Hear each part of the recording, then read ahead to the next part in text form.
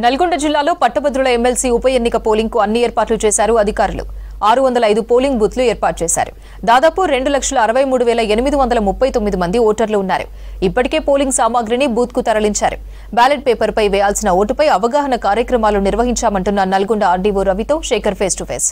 పట్టభద్రుల ఎమ్మెల్సీ ఎన్నికలకు సంబంధించి రేపు ఉదయం ఓటింగ్ ప్రక్రియ ప్రారంభంగానుంది. దానికి సంబంధించి ఇప్పటికే అధికార యంత్రాంగం అన్నీ సిద్ధం చేశారు. ఇక ఎవరికి మెటీరియల్ ఇవ్వాలి ఇక ఉద్యోగులు ఎవరు ఏంది అనేది ఇప్పటికే అందరికి కూడా వాళ్ళ విధి విధానాలను అధికారులు చెప్పుకొచ్చారు. వాళ్ళందరూ కూడా ఇప్పుడు విధులకు వచ్చారు. వాళ్ళకి సంబంధించి పోస్టల్ బ్యాలెట్కి సంబంధించిన ఏవైతే మెటీరియల్ ఉందో ఆ మెటీరియల్ మొత్తం కూడా పూర్తిగా అధికారులకు అప్పచెప్పిన తర్వాత వాళ్ళు వాళ్ళకి సంబంధించిన పోలింగ్ కేంద్రానికి వెళ్ళాలి. పోలింగ్ కేంద్రానికి వెళ్ళిన తర్వాత రేపు ఉదయం అంటే ఓటర్లకు వచ్చే ముందుగానే వాళ్ళంతా కూడా అన్ని ఏర్పాట్లను చేసుకోవాలి. చేసుకున్న తర్వాత ఒక్కొక్క సాయంకాలం పూర్తయిన తర్వాత ఆ మెటీరియల్ను పూర్తిగా అప్పగించే వరకు కూడా వాళ్ళు విధి నిర్వహణలో ఉండాలని చెప్పేసి ఇప్పటికే అధికారులు వాళ్ళకు ఆదేశాలు జారీ చేశారు. దానిలో భాగంగా ఇప్పటికే ఎంప్లాయీస్ మొత్తం కూడా వచ్చేసారు మరోవైపు నాయకులు ఎంత సీరియస్గా ఈ ఎన్నికల ప్రచారాన్ని చేసి ఓటర్లను రప్పించే ప్రయత్నం చేస్తున్నారు అధికారులు కూడా ఈ ఎన్నికలను సజావుగా సాగే విధంగా అన్ని ప్రయత్నాలను చేస్తున్నారు. ప్రస్తుతం మనము నల్గొండ కేంద్రంలోని ఆ, మెటీరియల్ పంపిణీ కేంద్రం దగ్గర ఉన్నాం. ఇక్కడ మనతో పాటు మెజిస్ట్రేట్ ఉన్నారు. సార్ మాట్లాడదాం. సార్ నమస్తే.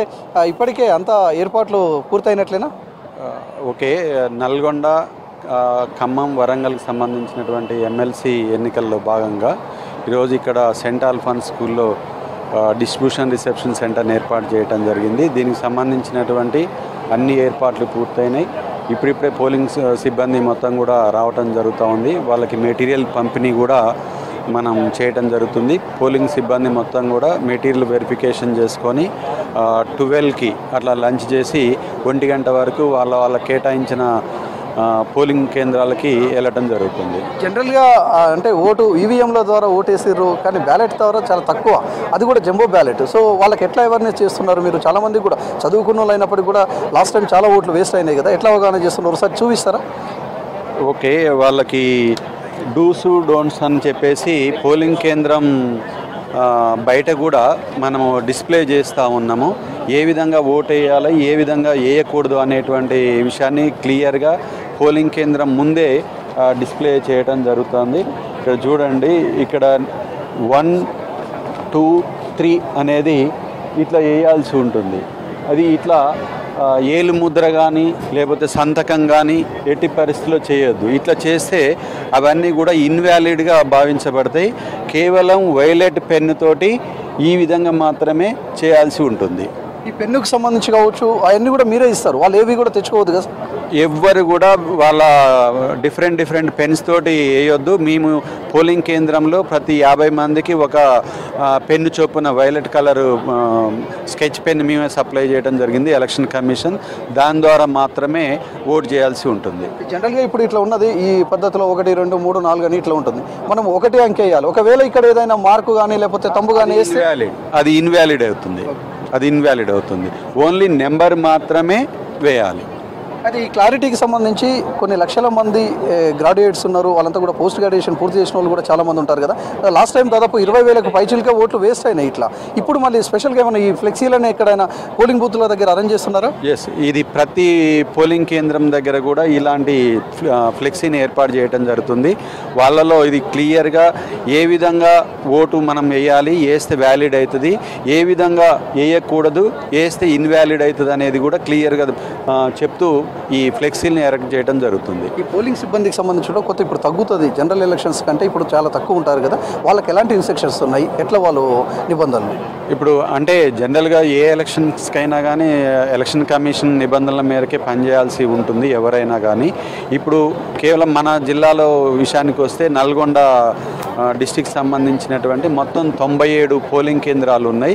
దీనికి గాను ఐదు వందల ఎనభై ఒక్క మంది పోలింగ్ సిబ్బంది అదేవిధంగా ఒక త్రీ ఫిఫ్టీ పోలీస్ సిబ్బందిని వినియోగించడం జరుగుతుంది. టోటల్గా ఒక వెయ్యి మంది సిబ్బంది దీంట్లో పనిచేయడం జరుగుతూ ఉంది. అంటే వాళ్ళకి ఎట్లాంటి ఇన్స్ట్రక్షన్స్ ఉన్నాయి? ఇప్పుడు మీరు బ్యాలెట్ పేపర్లు ఇస్తారు మెటీరియల్ ఇస్తారు ఇచ్చిన తర్వాత వాళ్ళు ఎక్కడ ఉండాలి? మళ్ళీ తర్వాత మీకు ఎట్లా అప్పగించాలి? స్పేర్గా ఎవరైనా ఉంటారా మళ్ళీ? కంపల్సరీ పోలింగ్ సిబ్బంది వన్స్ వాళ్ళు మెటీరియల్ హ్యాండ్ ఓవర్ చేసుకున్న తర్వాత కంప్లీట్గా బ్యాలెట్ బాక్స్ పోలింగ్ మెటీరియల్ వాళ్ళతో పాటే ఉంచుకోవాలి.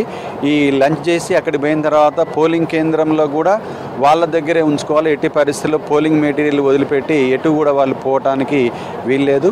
పోలింగ్ కంప్లీట్ అయిన తర్వాత మళ్ళా తిరిగి ఇదే సెంటర్కి వచ్చేసి వాళ్ళు ఈ పోలింగ్ మెటీరియల్ బాక్స్ అంతా కూడా ఇక్కడ హ్యాండ్ ఓవర్ చేయాల్సి ఉంటుంది.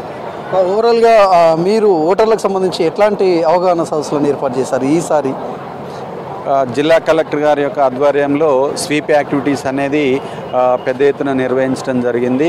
ముఖ్యంగా ఈ ఆర్గనైజేషన్స్ ఏ ఉన్నాయో వాళ్ళు కానీ బార్ అసోసియేషన్స్లో కానీ ఇక మిగతా చోట్ల ప్రత్యేకంగా వీటి యొక్క అవేర్నెస్ ప్రోగ్రామ్ ఓటు వేయాలి ఎన్రోల్మెంట్కి చేయడం జరిగింది. అదేవిధంగా ఓటుని ఉపయోగించుకోవాలని కూడా పెద్ద ఎత్తున కార్యక్రమాల్ని నిర్వహించడం జరిగింది.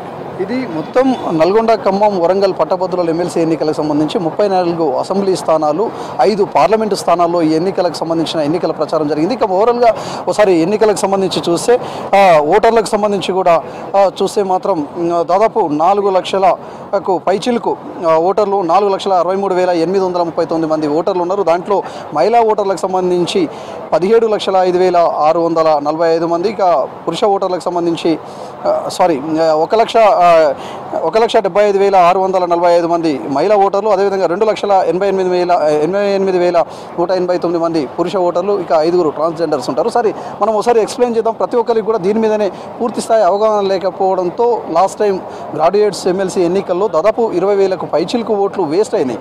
ఈ ఏవైతే ఒకసారి మీరు ఎక్స్ప్లెయిన్ చేయండి. ఇక్కడ వన్ టూ త్రీ ఫోర్ ఇట్లా నెంబర్లు ఉంటాయి. ఇక్కడ అభ్యర్థులు ఉంటారు. వాళ్ళకి సంబంధించిన ఫొటోస్ ఉంటాయి. ఫొటోస్ తర్వాత ఇక్కడ వాళ్ళు వరుస క్రమంలో ఎవరికి ప్రాధాన్యత ఓటు వేస్తున్నారో వాళ్ళకి సంబంధించిన ఒక వీళ్ళు స్కెచ్ పెన్ ఇస్తారు. ఆ స్కెచ్ పెన్తో వేయాలి. కానీ ఇక్కడ అం- అంకెలు వేయాలి. ఎక్కడైతే వన్ ఉన్నదనుకోండి ఎవరికైతే మీరు అభ్యర్థిని ఎంచుకున్నారో ఆ అభ్యర్థికి సంబంధించి వన్ ఉంటే వన్ అతనికి వన్ వేయాలి. తర్వాత ఎక్కడున్నా కానీ. ఇవన్నీ ఇది వాల్యూడ్ కిందికి వస్తుంది. వాళ్ళు యాభై ఓట్లకు ఒక స్కెచ్ పెన్ అనేది ఇస్తారు. మన ఓపీఓ గారు ఇచ్చేస్తారు. అదే పెన్నుతో మార్కు చేయాలి. One two three Hindu Arabic సంఖ్యలలో కానీ రోమన్ సంఖ్యలలో కానీ మార్క్ చేయాలి. ఒక అభ్యర్థికి ఒక ప్రాధాన్యత క్రమమే ఇవ్వాలి. ప్రాధాన్యత క్రమంతో దీన్ని ఓట్ చేసుకోవచ్చు. ఈ విధంగా ఈ స్కెచ్ పెన్ తోటి వేయాలి. ఈ విధంగా మార్క్ చేయాల్సి ఉంటుంది. ఆ విధంగా ఒక్కరికి రెండు ప్రిఫరెన్స్ కేటగిరీలు కనుక ఒకటి ఒకటి ఇద్దరు క్యాండిడేట్లకు ఆ విధంగా ఇచ్చినట్లయితే అది ఇన్వాలిడ్ కిందికి వస్తుంది. అట్లనే ఏదైనా సీక్రెట్ సంతకాలు కానీ వేలుముద్రలు కానీ అట్లా ఉన్నట్లయితే అది కూడా అట్లా ఇన్వాలిడ్ కిందకి వస్తుంది. కేవలం ప్రాధాన్యత క్రమం ద్వారానే ఒకటి రెండు మూడు నాలుగు ప్రాధాన్యత క్రమం ద్వారానే ఎంతమందికైనా ఓటు చేసుకోవచ్చు అనమాట ఇది అంటే ఈ ఫ్లెక్సీని ప్రతి పోలింగ్ కేంద్రం వద్ద వాళ్ళు ముందుగా డిస్ప్లే చేస్తారు. డిస్ప్లే చేసిన తర్వాత ఓటర్లకు కూడా అక్కడ చూసుకోవచ్చు. చూసుకున్న తర్వాతనే వాళ్ళకి సంబంధించిన ఎవరైతే అభ్యర్థిని ఎంచుకుంటారో అభ్యర్థికి సంబంధించి మాత్రం వాళ్ళు ఓటు వేసుకునేది ఉంటుంది. ఎవరైతే ఫస్ట్ ప్రయారిటీ ఒకటి సెకండ్ ప్రయారిటీ రెండు ఇట్లా వేసుకుంటూ వాళ్ళు వెళ్ళాల్సి ఉంటుంది. ఇక సంతకం కావచ్చు లేకపోతే తంబు కావచ్చు అట్లాంటివి ఏవైనా యూజ్ చేస్తే వాళ్ళ సొంత పెన్నులు కానీ యూజ్ చేస్తే ఆ ఓటు చెల్లకుండా పోతుంది. ఎంతమందికైనా వాళ్ళు ఓటేసి ఎంతమంది అయితే అభ్యర్థులు ఉన్నారో వాళ్ళందరికీ కూడా ప్రాధాన్యత ఓటు. సో ఈ కౌంటింగ్కు సంబంధించి కూడా చాలా పకడిబందీగా అధికార యంత్రాంగం అయితే ఏర్పాటు చేసింది. ఓవరాల్గా నల్గొండ ఖమ్మం వరంగల్ పట్టభద్రుల ఎమ్మెల్సీ ఎన్నికలకు సంబంధించి అధికార యంత్రాంగం సర్వం సిద్ధం చేసిందని చెప్పుకోవచ్చు. ఇది ఎమ్మెల్సీ ఎన్నికలకు సంబంధించి అప్డేట్ కెమెరా పర్సన్ రఘుతో శేఖర్ వి సిక్స్ నల్గొండ జిల్లా.